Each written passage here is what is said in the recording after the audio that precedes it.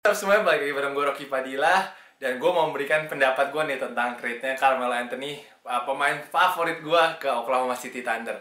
Tapi gue agak nyesel juga nih gue gak bawa jersey uh, Paul George gue Oklahoma City. Karena emang pemain favorit gue yang pertama itu Carmelo Anthony Terus uh, pemain favorit kedua gue Paul George. Jadi gue seneng banget nih sebagai fans. Dua-dua pemain favorit gue Satu tim untuk musim depan gue excited banget. Dan gue berharap sih uh, Russell Westbrook, Carmelo Anthony dan uh, Paul George sendiri bisa masuk uh, playoff di uh, wilayah barat yang sangat berat ini musim depan. Dan kemarin di press conference-nya Hoodie Melo, Melo datang dengan hoodie-nya uh, bilang dia masih berharap kalau uh, semoga Dwayne Wade yang sudah di buyout kontraknya uh, bisa pindah juga ke Oklahoma City Thunder. Jadi kita lihat dulu nih videonya. Carmelo, can you tell us where Dwayne Wade will be playing this year? Where is he? I, I have no idea, to be honest with you. I would love to have him here in Oklahoma City, but am I allowed to say that? Is is that tampering? Oh, he's free now. Come on, D. You, you know you you know you belong at. Come on. That's all I'm gonna say. Semoga Dwayne Wade mau juga ya pindah ke Oklahoma City Thunder karena Oklahoma City Thunder benchnya ini masih kurang banget menurut gua cuma ada Alex Abrines, uh, Samaje Christian, Nick Collison, Patrick Patterson dan juga Raymond Felton. Jadi uh, masih butuh satu bantuan pemain lagi menurut gua untuk menjadi uh, yang sangat kuat di wilayah barat. Dan untuk Carmelo sendiri gue seneng banget dia pindah ke Oklahoma City Thunder. Karena Oklahoma City Thunder kotanya ini sepi banget nih. Nggak ada apa-apa jadi nggak akan ke distract seperti dia waktu di New York. Waktu di New York dia masih ada banyak acara promotion acara fashion show. Jadi sekarang ini menurut gue uh, Carmelo akan balik lagi ke uh, performance saat di Denver Nuggets dulu dan emang Carmelo sendiri uh, pastinya banyak yang bilang uh, defense-nya kurang bagus atau apa. Tapi menurut gue untuk season depan uh, Melo ini akan main lebih bagus daripada uh, tahun-tahunnya dia di New York karena mungkin tahunnya dia di New York menurut gue dia nggak terlalu niat mainnya jadi hanya ingin fokus ke scoring. Tapi di sini menurut gue ada Paul George dan juga ada Russell Westbrook di sini bisa membuat dia lebih fokus dan juga dia punya chance karena motivasinya juga masih tinggi karena chance untuk juaranya lebih di lebih ada saat bermain di Oklahoma City Thunder ini.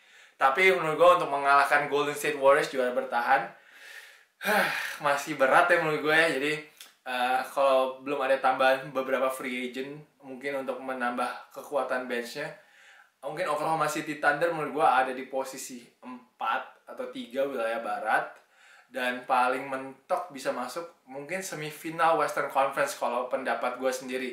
Jadi uh, kita lihat aja uh, season NBA belum mulai jadi masih banyak uh, kesempatan Oklahoma untuk merombak dan juga menambahkan kekuatan. Karena GM-nya sendiri menurut gue luar biasa Sam Presti ini. Tanpa mengeluarkan aset-aset yang uh, besar dia hanya mengeluarkan Enes Kanter, Victor Oladipo, uh, Domantas Sabonis dan juga uh, second round draft pick.